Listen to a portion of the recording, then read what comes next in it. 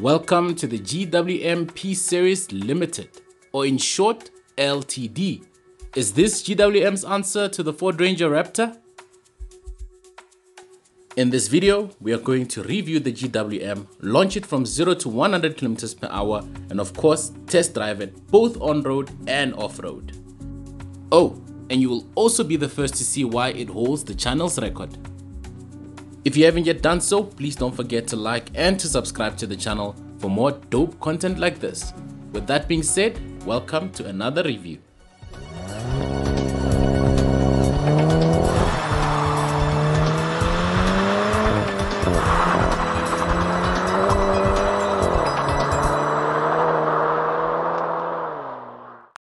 The 2023 GWM P Series LTD is a pickup truck that is available both in two-wheel drive and four-wheel drive configurations.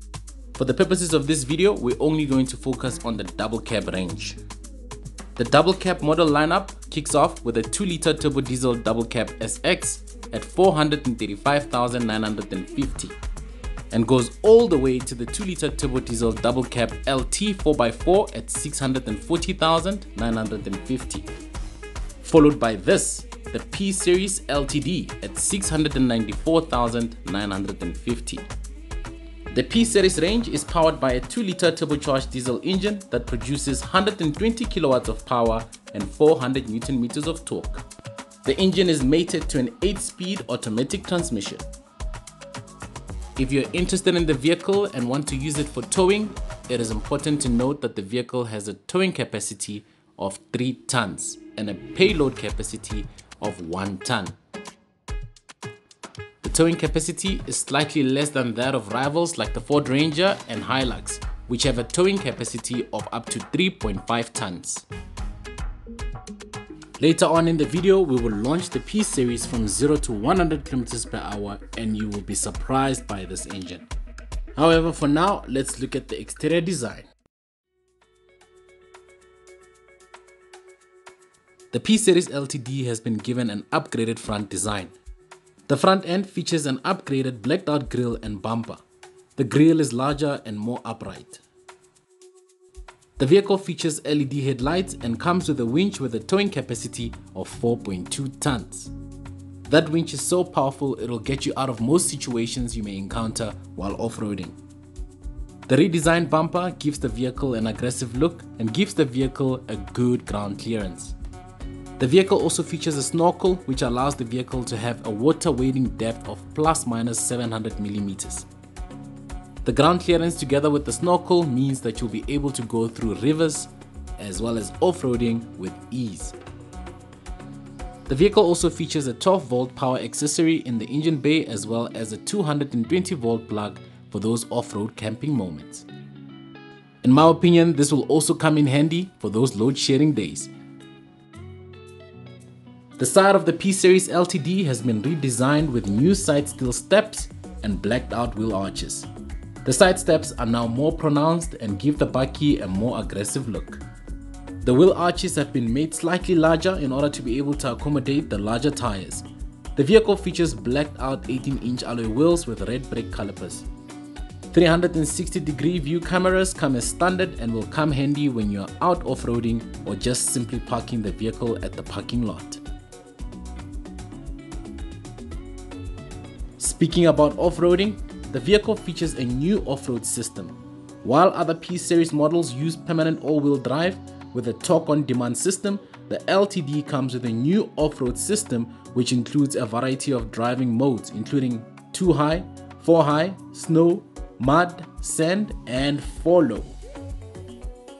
The off-road system also includes country expert mode and drive mode memory as well as linking to both front and rear differential locks. The vehicle also comes with off-road drive cruise control and trail turn assist which decreases the turning circle by 3 meters, a feature that will come handy when you need to make a U-turn in the bush. The rear of the P-Series LTD features a redesigned blacked out bumper. The bumper now has a more rugged look. The tail lights are full LED and have a more modern design. As standard, the vehicle comes with a tow bar for those moments where you want to haul a caravan to the caravan side or haul a boat to the river. Access in and out of the load bay has been made easy thanks to the side steps on the rear bumper. I'm not particularly sure, however, if there is an availability for a roller shutter, I'll definitely have that roller shutter fitted on this vehicle. It would definitely add to the security as well as look of the vehicle. Before getting into the interior of the P-Series LTD, let's have a look at how it drives. The GWM P-Series LTD is a capable off-road vehicle. The vehicle has a high ground clearance, a long wheelbase and a four-wheel drive system with low range gearing.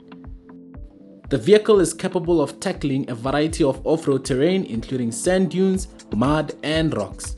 The P-Series LTD also has a number of features that make it easy to drive off-road including hill descent control and a rear differential lock. When it comes to highway driving, the P-Series LTD is comfortable and stable. The engine is powerful enough to provide good acceleration and passing power.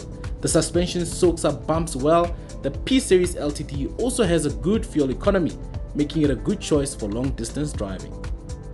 The location of the snorkel means that on windy days you will hear some wind noise. When it comes to urban driving scenarios, the P-Series LTD is easy to maneuver and park.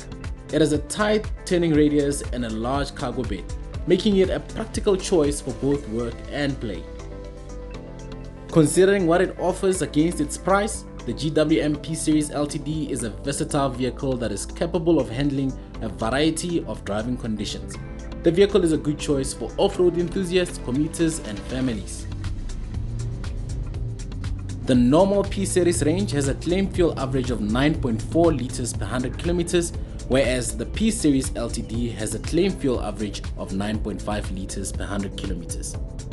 As standard, the P-Series LTD comes with safety features such as lane keep assist, lane departure warning, dual airbags with side curtain and front central airbags, tire pressure monitoring system, autonomous emergency braking, traffic sign recognition, as well as auto dimming mirror for those idiots who think flashing their lights at you will hurt. The vehicle also comes with adaptive cruise control which makes the vehicle effortless to drive, which works very well with the autonomous emergency braking system as I shall now demonstrate. At this point in time I am doing nothing, the vehicle is actually coming to a halt all by itself. Look at that. Adaptive cruise control, yeah. With all of this safety tech, it comes as no surprise why this vehicle is rated a 5-star safety rated vehicle. So it seems we have covered urban driving, highway driving, off-road driving. There's only one more thing we still need to do and that is simply to launch this vehicle and see just how good that engine is.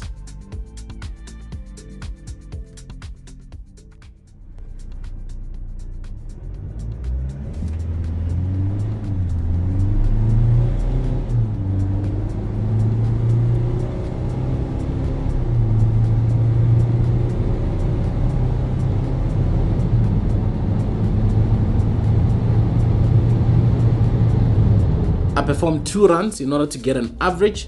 On the one run, I got 14.4 seconds from 0 to 100 km per hour, and on the other one, I got 17.4 seconds from 0 to 100 km per hour, giving me an average of 15.9 seconds. Now that's a record for the channel for the slowest car yet. It comes as no surprise then why the vehicle came last at the Bakkie Drag race staged by cars.co.za. It was even beaten by the fly to the finishing line. The upgrades to the GWM P series made it more heavy, but no upgrades were made to the engine. GWM fumbled here. They had a chance to create a beast and they messed it up. Let's hope they do so in the future though.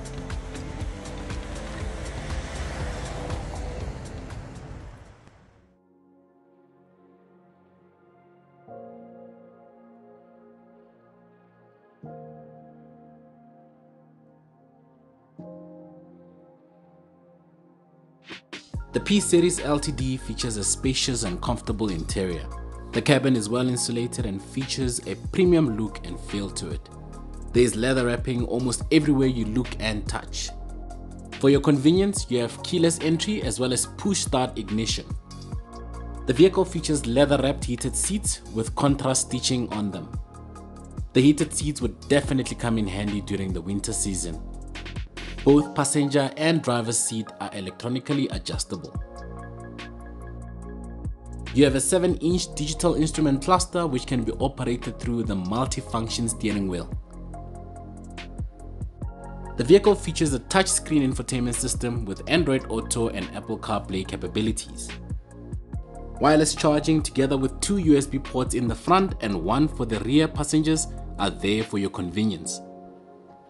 Practicality is good with storage in the center console, cup holders on the door pockets and center console. Rear passengers are treated to comfortable seats. I am 1.86 meters tall and fit just fine at the rear with the front seats in my sitting position, legroom and headroom are reasonable. Isofix anchor points make it possible to fit a child seat at the back of the car. We've now come to the end of the video and it is now time to address the cost of ownership.